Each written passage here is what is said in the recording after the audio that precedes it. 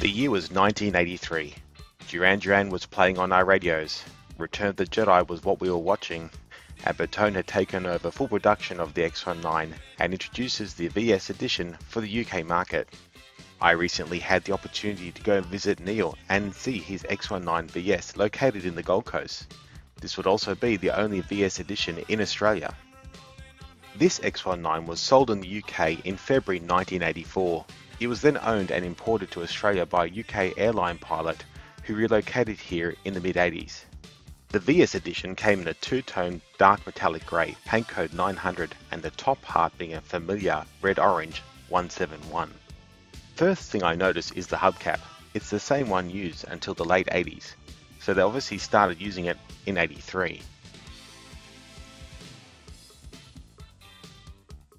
The interior had black leather-like look seats as well as door cards and also had the embossed X19 logo into the headrest.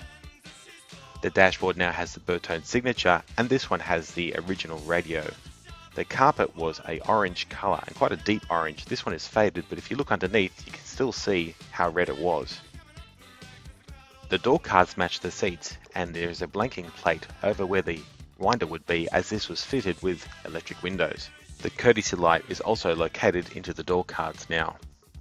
The horn button no longer has any emblem on it and the instrument cluster has the word Fiat still.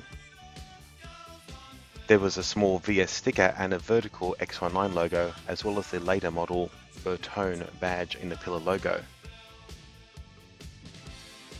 The engine bay looks very similar to ours except some one subtle difference. There are no breathers on the actual fuel tank which I thought was a bit unusual seeing it's still a carbureted car. And yes, you might be noticing a few other modifications that were done aftermarket.